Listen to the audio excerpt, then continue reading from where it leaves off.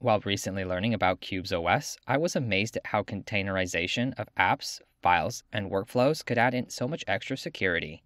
If you don't know, Qubes OS is an OS where a VM called DOM0 runs a GUI and can start apps from other VMs. You control which VMs have access to the internet, and they all have their own files. Anyway, it's a cool OS that uses lots of VMs. Just because I like messing around with containers and graphical environments, I set out to create a similar setup for the Librem 5.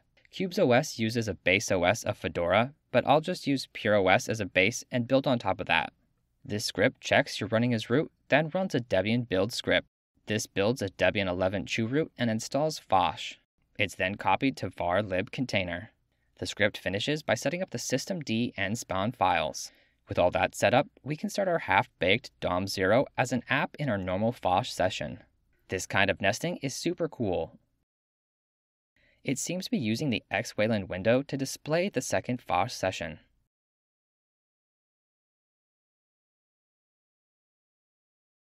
Okay, but the base OS isn't really meant to do anything except run VMs. The GUI is supposed to be run inside of DOM0. While this is kind of cheating, it was pretty simple just to edit the user bin Phosh script. With a simple edit and the systemctl command, the GUI is off but Phosh is running. From within the DOM0 container, this is all that's needed to start the Phosh session. It does display a mouse cursor, and you have to disable docked mode in order to get the on-screen keyboard icon to appear. Still, this is really cool.